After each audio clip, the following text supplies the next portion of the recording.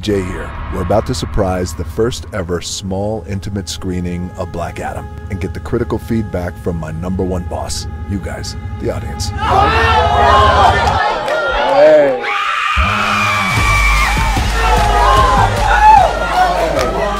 I follow you to Wish we could.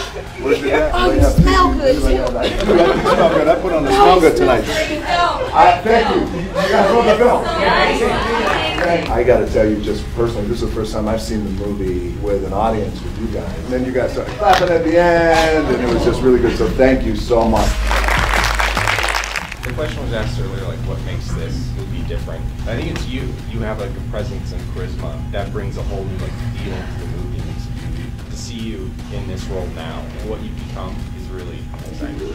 it's hard for someone that goes to the movie theater and really think this is not the actor, this is the actual superhero, and that's Wow. something that I think you did, like you accomplished it.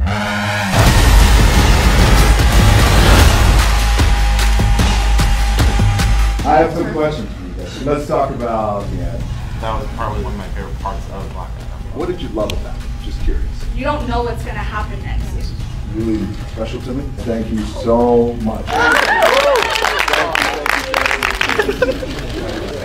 Thank you. That was amazing.